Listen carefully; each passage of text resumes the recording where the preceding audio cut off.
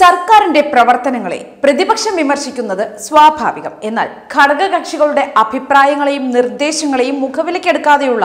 സർക്കാരിന്റെ പ്രവർത്തനങ്ങൾ തീർത്തും ഏകാധിപത്യമെന്നല്ലാതെ എന്തു പറയാനാണ് കുറഞ്ഞപക്ഷം എൽ ഡി എഫിലെ രണ്ടാം കക്ഷിയായ സി പി എ കാര്യങ്ങൾ ബോധ്യപ്പെടുത്തുകയെങ്കിലും വേണ്ടേ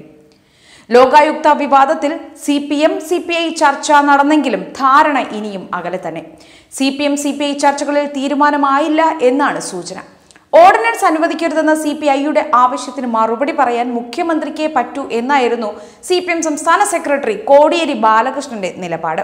സി പി ഐയുടെ എതിർപ്പ് അവഗണിച്ചും ഗവർണറെ കൊണ്ട് ഓർഡിനൻസിൽ ഒപ്പിടിപ്പിച്ചത് സി പി ഐ സംസ്ഥാന സെക്രട്ടറി കാനം രാജേന്ദ്രനെ ചൊടിപ്പിച്ചിരുന്നു മുഖ്യമന്ത്രി മടങ്ങിയെത്തി ഗവർണറെ അനുനയിപ്പിക്കുകയും അദ്ദേഹത്തെ ഒപ്പിടിക്കുകയും ചെയ്തതോടെ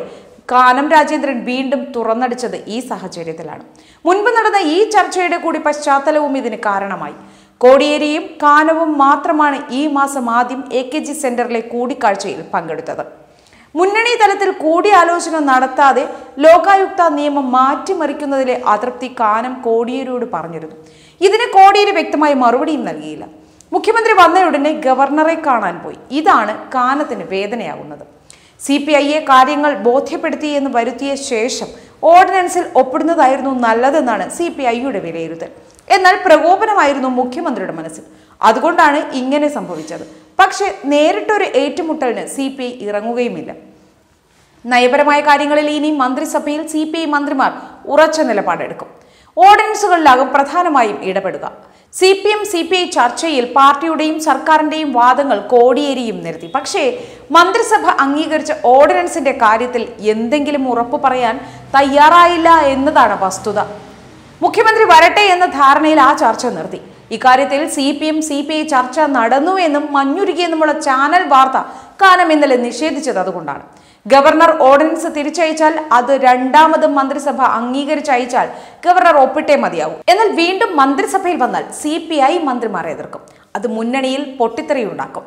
ഇത് മനസ്സിലാക്കിയാണ് ഓർഡിനൻസിൽ ഗവർണറെ കൊണ്ട് ഒപ്പിടിപ്പിച്ചതെന്നാണ് സൂചന ഈ സാഹചര്യവും സഭാ സമ്മേളനം ചേരുന്നത് സംബന്ധിച്ച തീരുമാനം അടുത്ത മന്ത്രിസഭാ യോഗത്തിൽ എടുത്തേ തീരൂ എന്നതിനാലുമാണ് ഞായറാഴ്ച തന്നെ ഗവർണറെ മുഖ്യമന്ത്രി കണ്ടത് ഓർഡിനൻസ് ഗവർണർ ഒപ്പിട്ടതോടെ സർക്കാരിന് ആശ്വാസവുമായി ഓർഡിനൻസ് പ്രാബല്യത്തിൽ വന്ന ശേഷം സഭ ചേർന്നാൽ നാൽപ്പത്തിരണ്ട് ദിവസത്തിനകം അത് പാസ്സാക്കണം അതായത് ഫെബ്രുവരി പതിനെട്ടിന് സഭ ചേരുകയാണെങ്കിൽ മാർച്ച് മുപ്പത്തിയൊന്നിനകം പാസ്സാക്കണം അല്ലെങ്കിൽ അതിനിടയിൽ മന്ത്രിസഭ വീണ്ടും ചേർന്ന് ഓർഡിനൻസ് പുനർവിജ്ഞാപനം ചെയ്യാനായി ഗവർണർക്ക് അയക്കണം മന്ത്രിസഭ ആ ഘട്ടത്തിൽ ചേരുമ്പോഴും സി പി ഐ മന്ത്രിമാർ എതിർക്കും ഓർഡിനൻസ് ഒപ്പിട്ടതോടെ ഗവർണർക്കെതിരെയും പ്രതിപക്ഷം തിരിഞ്ഞു രാജ്ഭവനിൽ ഒരു ബി ജെ പി സംസ്ഥാന കമ്മിറ്റി അംഗത്തിന്റെ നിയമനം കൂടി കണ്ടാണ് ഗവർണർ അയഞ്ഞതെന്ന പ്രതിപക്ഷ ആരോപണം കനത്തതോടെ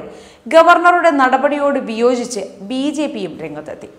അതിനിടെ ലോകായുക്ത ഓർഡിനൻസ് ഒപ്പിട്ടത് ഗവർണർക്ക് ബോധ്യപ്പെട്ടതുകൊണ്ടാണ് എന്ന് മന്ത്രി എം വി ഗോവിന്ദൻ പറഞ്ഞു ഗവർണർക്കുണ്ടായിരുന്ന സംശയങ്ങൾ മുഖ്യമന്ത്രി നേരിൽ കണ്ട് ദൂരീകരിച്ചു ഓർഡിനൻസിനെ എതിർക്കുന്ന കാനം രാജേന്ദ്രന്റെ നിലപാടിനോട് പ്രതികരിക്കാനില്ലെന്നും ഗോവിന്ദൻ പറഞ്ഞു